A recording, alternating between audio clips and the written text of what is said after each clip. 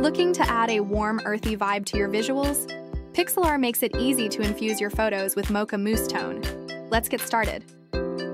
Head to the effects section and start experimenting. Here are two of our favorites Ragwarm from the Retro series. Perfect for that warm sepia glow, giving your photo a cozy mocha vibe. Adjust the density to get just the right balance. Next is the Strawberry Effect from the Colors series. For a soft, dreamy touch, this effect works beautifully to create a romantic, earthy aesthetic.